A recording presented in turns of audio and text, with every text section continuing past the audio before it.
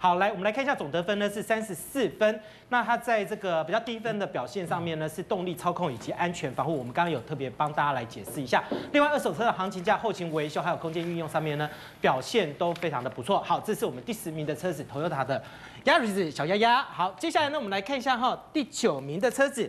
好，第九名的车子呢是呃奥迪的这个 A 三哈 Sportback。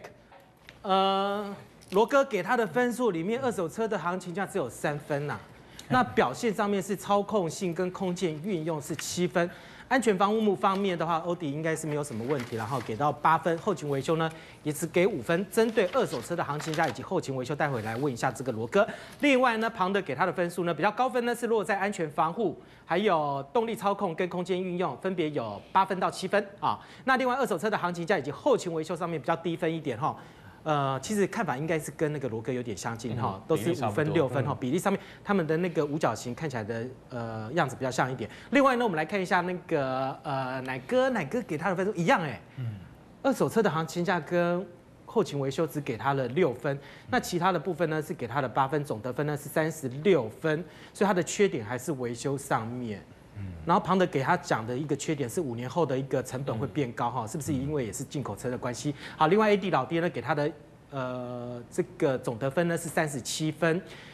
哎，你的二手车行情价你你不是很严苛吗？哈，二手车的行情价跟后勤维修给他给到七分哦。我是这样看，如果说你要操控乐趣，或者是说你要在开车的驾驭感受来讲比较要求，那我还是建议你会去买 B N W。可是呢？如果以都是前驱车来讲，啊，我觉得呃 A 三的这个表现会比 A Class 还要好一点。然后再就是说它的内装质感的整个铺陈，然后包含。这个很多网友在批评的那个 A Class 那个前面的很恶心的一幕，在 A 三上面它是完全是隐藏的哦，它完全是伸缩的，所以我觉得就你门打开整个感觉来说，我觉得 A 三是呃胜过两个是有竞竞争对手对，然后再就是它的整个空间表现啊，因为就很多人会说，哎呀我我我希望后座坐起来，因为我偶尔可能要载我小孩或者载朋友，A 三我觉得绝对比 A Class。还要再大很多啊！这个我们等下会讲到。那在 A 呃 A 三其实底盘的部分呢，它虽然跟同集团刚刚有讲，就是它其他车有共用，可是呢，我觉得基本上它是共用，可是它是各自调教啦。那这 A 三的底盘，我觉得虽然是前驱车，少了一些那种呃转向过度的一个操控乐趣，可是基本上我觉得它在呃高速公路的行驶的一个稳定性哦，然后还有整个呃变速箱它换挡的一个感觉，其实我觉得还是。蛮值得推荐的，但是 Eric，你给他的分数的话，也一样，其实给他的分数给到蛮高的哈。但是他唯一的缺点是贵，但是后勤维修上面的话，是不是有问题啊？你后勤维修是给最低分，给六分啊，在你的评分里面。对，因为那个我家里面有个亲戚，他买了一个这个 A 七哈，嗯，前一阵子哦，A 七不是你的，家 我叔叔的，叔叔的，那他刚好呢，你不是有六十几辆车，不小心哦，撞到那个铁门。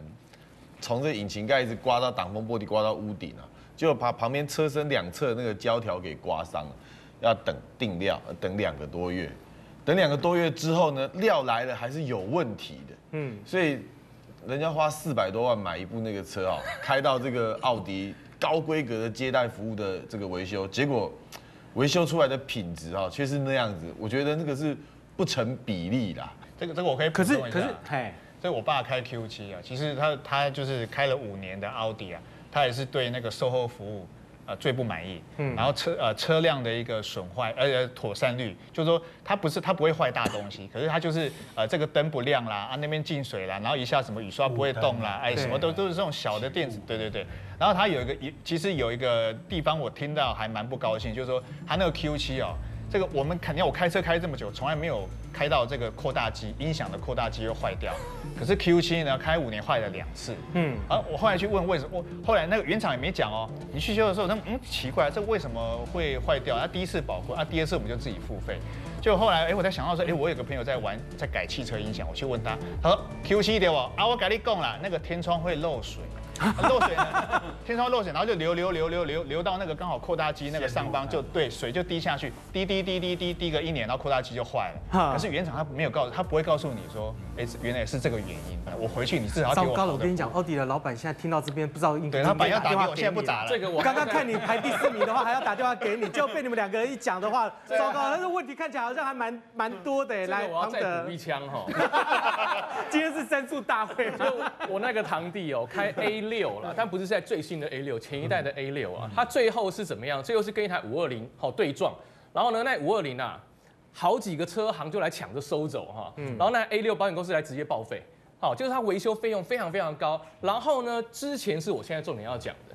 就那个 A 六，我想大大家都知道，它那个奥迪不是创新科技吗？对对，有些地方创新过头是找人家麻烦。对，它当时那个 A 六呢，它那个前驱哈，那个前轮的悬吊，好像是三连杆还是四连杆哈？十连。好，十连杆，对对，Eric 你清楚，它一边十连杆哦。那连杆就是交交这个左右交错很复杂，但是你可能真的问他在说什么啊？什么兼顾什么侧倾跟直线，讲了很很多高科技的。对，但是那一组十连杆哦，平均寿命不超过两年。嗯，就是它正常磨损就要两年之内就要换全部换掉啊。然后那一组要几万，大家都可以想象了嘛。后来甚至有零件商针对这个开发出一个所谓副厂件。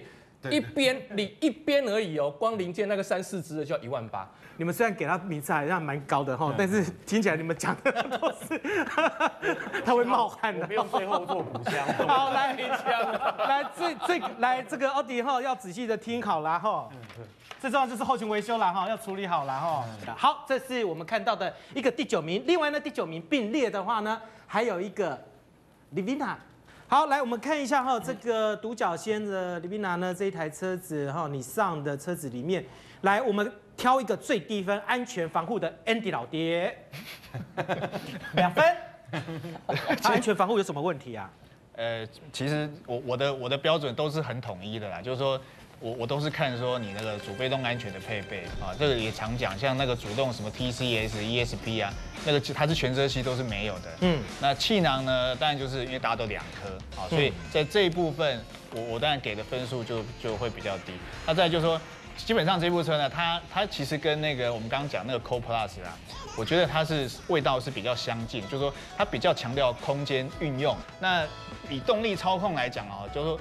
呃，这个 Lavina 它的一个底盘的扎实度，那再就是刚旁的哥有讲它的钣金的厚度，哦，那整个车身的刚性这一部分，我觉得比 Co Plus 好一些，但也没好到哪了。可是我觉得是实，可是实际上就你开车的人，你在开整部开起来的感觉啊，Lavina 确实可以给你比较那种呃稳定。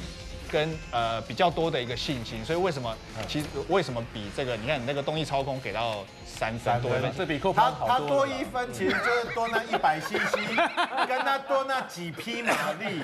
那的确 l a v i n a 的马力是比较大一点点。那我觉得这的确是有差，所以我们常说啊，我我也常跟老爹说，你不要说你你知道这个呃五十万的 TCS 跟五百万的 TCS。那可能是不一样，所以不能光看说我有主被动安全，我就可以把它定位成一样。哎，我问一下罗哥，罗哥，呃呃，重量一下啦哈。嗯。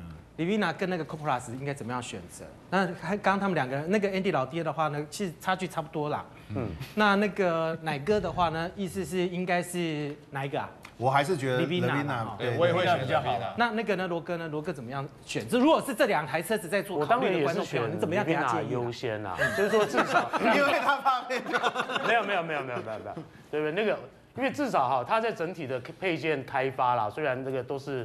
呃，你知道中华玉龙集团有这个，都有有都有都有这个实力，同一个祖宗。哎，对。那但是呢，就是说也，它至少在整个的开发上面，我觉得它的完整度也比较够。可是呢，其实它这个车子当时在设计的时候是东南亚市场，针对东南亚市场开发。可是呢，台湾我们看一看会觉得，哎，这车型好像太老土了一点。嗯。于是他们在开发的时候就把它设定为 RV 化。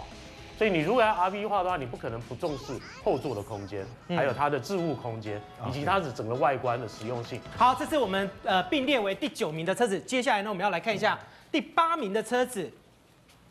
好，来第八名的车子呢是福特的 Fiesta。好，来我们先看一下那个罗哥，罗哥给他的分数呢是给了三十一分。在它总得分里面，个人排名呢是三十三辆车子里面的第七名。那它的二手车的行情价呢是第呃只有五分，那另外后勤维修是六分，然后高的分数呢是在动力操控以及安全防护上面呢各给予它七分，另外呢空间运用呢是给它了六分。好，另外呢这个庞德给它的分数呢是给到了三十七分。它的总得分里面呢，在这个分数最高的项目上面呢，是动力操控以及安全防护，那分别给它八分。另外呢，二手车的行情价、空间运用以及后勤维修上面呢，给予它七分。它的缺点呢，品牌形象，针对福特的品牌形象，待会可能也要聊一下哈，因为罗哥也是觉得那个品牌形象。应该要稍微加强一下。好，另外呢，奶哥给他的分数呢是给到了三十三分。另外，呃，在他的一个总个人得名上面呢是三十三辆车子里面的第七名。他在这个二手车的行情价以及后勤维修上面比较低分，是给他六分。另外，动力操控、空间运用以及呃安全防护上面呢是给他七分。一样，缺点是在品牌。好，Andy 老爹呢是给他的四十一分。他讲说后座太小了哈，那这个空间 呃空间感稍微比较差一点，但是也给了他给到了八分。另外后勤防护以及这个操控性上面呢是给他九分，所以第一名啊，哎他的车子是第一名呢。对啊，终于看到。哇塞，掌声鼓励一下。对啊，终于看到他喜欢的车。哇，这个要好好问一下了哈。哎，你没有考虑到那个吗？他们前面三个全部讲到品牌耶，都是全部都是给两分。哎，来我看一下，哎，其实庞德给的他第名名次也很高，他也给到第四名哈。来，Eric，Eric，Eric，有那个福特要打电话给你，你给他的排名是第八名哎。我先问一下庞那个那个 Eric 啦哈，Eric，你给他的分数里面，在所有的排名里面的话，您个人的排名上面呢是？只排到第八名呢，前其他的都大部分呢都是给他，哎，跟那个哎那个奶哥差不多啦。奶哥也是第几？好，那你有没有考虑到那个所谓的品牌的问题？其实我们之前在我们前面几个像四门的车子里面的话，有特别提到了，就是福特在他们品牌形象上面的问题。呃，其实品福特品牌形象近年来操作的是不错啦，不过这个后勤维修这一部分哦，大家都非常清楚。进去保修厂被服务的那个态度跟那个品质，跟它的维修能量，其实都是非常车主都有点自己都很头痛啊。那再来，那空间小，这个大家也都知道，它本来就是个小车嘛。嗯。还有二手行情这个部分是我要特别讲一下的地方，就是说这个车呢，呃，我记得前几集我们有讲中古车，中古车老师讲那个天书有没有？这个车实际你要去卖的时候呢，连天书的价格你都卖不到。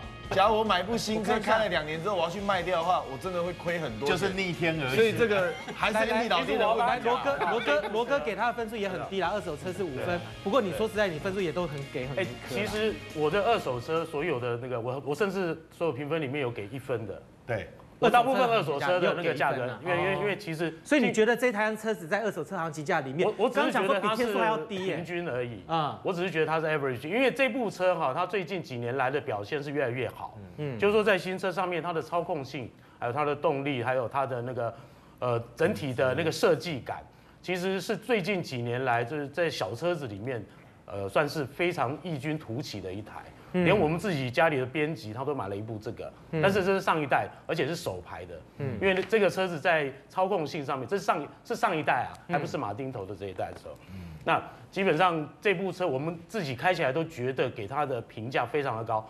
前轮驱动车可以做到转向没有不足，哦那种顺畅快的感觉，然后。呃，这个在整体的这个欧洲的设计，它的整个的造型上面也没有缺点。嗯，那唯一我们真的只是讲说，哦，OK，因为它是福特，可惜了。可是福特在欧洲的品牌好的，啊对。那在台台湾为什么会这样？其实还是一样，也是后驱。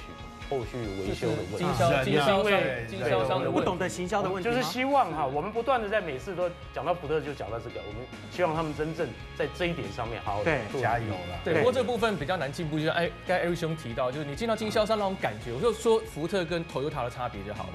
福特进去呢，感觉员工动作都慢慢的，然后呢？不知道第一个会过来跟你讲话是谁，每次去都不一定哦。有时候可能接待，有时候是柜台一个小姐忽然冲出来，然后这柜台还不是小姐，是那种太太这样子哈。但是丰田的话就很清楚，每次去一定固定谁做什么事很清楚啊啊，然后呢话术非常的标准，然后很亲切，你会觉得说话术中又带一点诚恳。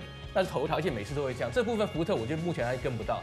但我觉得我这个车我还是给很高的分数，就是说，我常讲说，今天如果说是一个很强势品牌，什么做的很好的，你消费者占不到它便宜嘛？所以该该不讲亚瑞斯吗？对不对？对，东西其实不怎么样嘛，对，但他还是闭着眼睛买，二手你二手你还是好。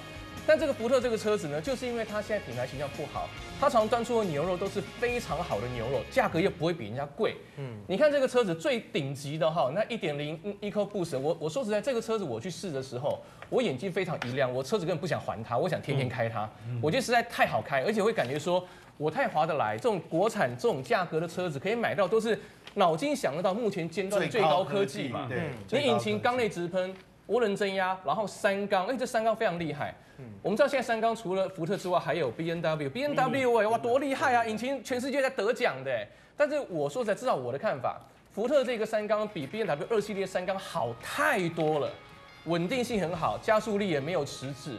OK，所以我觉得光引擎你赢 B N W 觉得哇，这太爽了嘛。嗯。然后呢，主动安主动跟变动安全配备，Andy 兄常讲嘛，你想得到全都有，还有一些你想不到的。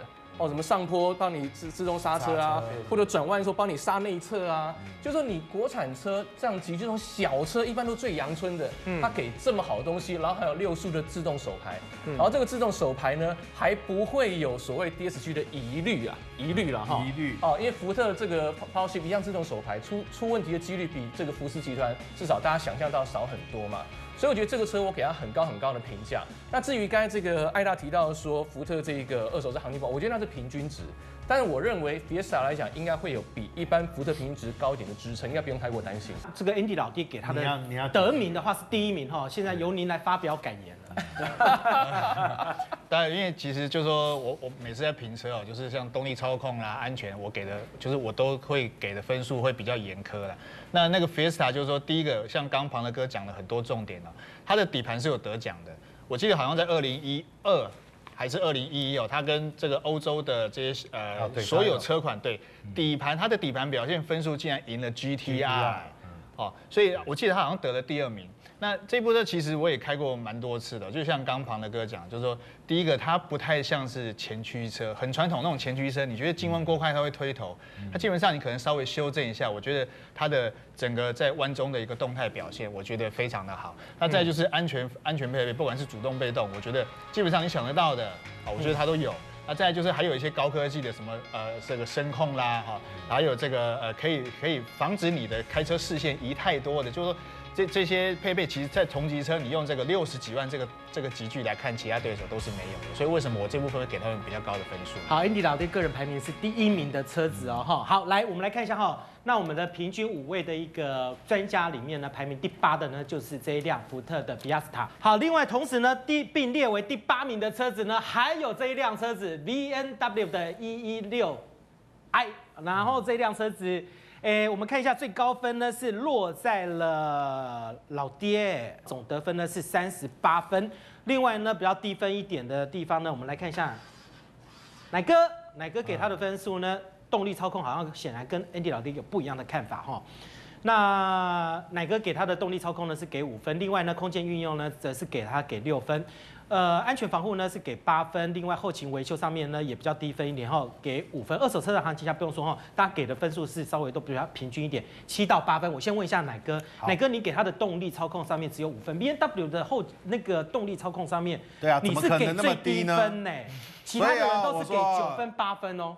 我我觉得有时候啊，我我有看那个这个我们 Facebook 上的留言啊，这个观众一定要很仔细的去看节目之后再去看再去发问或评论。我为什么给五分呢？是因为啊，现在新的一一六 i 啊，已经转为是这个一点四了啦，就一我们说一一四 i 了。一四 i，对，因为它它已经用那个它的那个小小排气量的引擎，更小的一点四升这个三缸的引擎，所以呢，一点六升这个呢已经叫做一一八 i，它肯定超过一百五十万以上，所以它不在我们的选择里面，所以不存在的引擎应该是零分了。我的概念是这样。第二呢，但是我在这个部分就要把它二手行情加回来了，所以我本来是给它九分。为什么呢？因为我们这个现在看到的一百三十六匹这一颗引擎，在现第二季就是会变成一一八 i 嘛，所以它就是涨价，就是说你现在能买一一六 i，赶快去买。为什么呢？以后就是涨价，以后就要一一八，所以二手行情一定会高。但是我为什么要给它九分，就扣一分变八分？是因为新的一一六长得太漂亮了。嗯，因为大家都觉得这一代的一一六啊。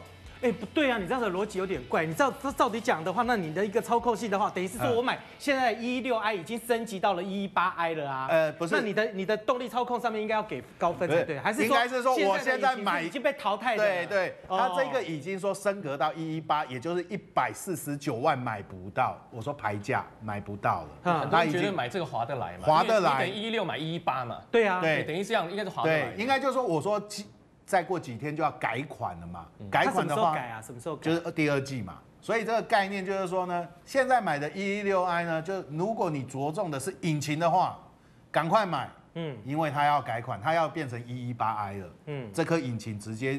名字就叫一一八，就是要涨价了。对，其实这一六，我认为它二手行情一定要再往上加。对，一定要加，因为很多人抢着买这一台车，为什么？因为其实外面很多所谓的城市优化，或我们讲就冠城市啊，就说你今天买一六来，我去坊间花个三万块，对，城市更新，只要涡轮增压引擎哦。你想为什么一样一千六哇？我从一千六到两千 CC 都同一颗引擎，因为原厂就是程式先写好了嘛，给你增压多点少一点。对对。所以你今天买一六，兆只要你你配备选好一点了哈，你这城市花三块更新一下，你看你买一台一一二零或一一八要差多少钱？你一更新只要三万块嘛。所以我认为这个一六在后续一定非常非常强。所以它中国车商会，我我应该这样说，可能大家听不懂。你只要想到说，一个是一点四升一点四升三缸的引擎，还有一个一点六升四缸的引擎。那这个一点六升四缸引擎最高马力在原厂哦，就是 Mini Cooper S 用的，它可以到一百八十六匹。那它在 B N W，它是先从一百三十六匹，然后你加点钱，我给你一百七十匹。就是说，我觉得 B N W 在三系列、四系列、五系列以上都都没有玩这个游戏，只有在一系列这个入门车啊，大玩这种游戏，搞得大家乱七八糟的。好，这次我们看到呢第八名哈，并列为第八名的 B N W 一一六 i 哈。如果那个呃有兴趣的话哈，在第二季的改款之前的话，可能要稍微赶快哈，动作要稍微快一点哈。好，这是第八名的车子。另外呢，我们来看一下第七名的车子，